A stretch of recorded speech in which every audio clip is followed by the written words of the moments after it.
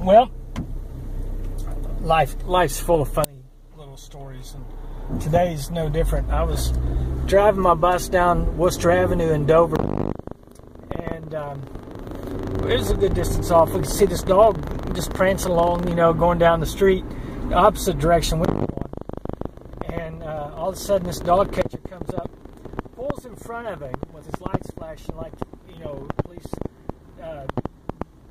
do whenever they pull over a car. They'll pull over in front of them at an angle uh, to keep the car from going anywhere.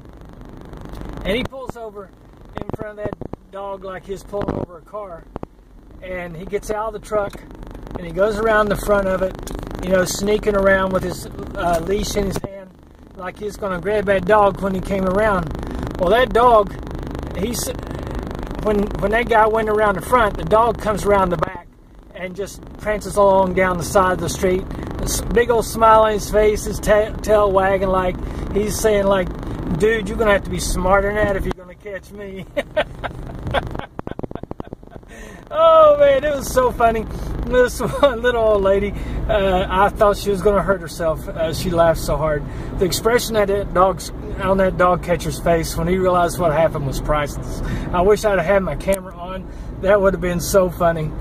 But that dog, he, he knew exactly what was going on. And he said, You ain't getting me, copper. okay, well, that's it for the day. Another laugh, another good, good time, and uh, God is good.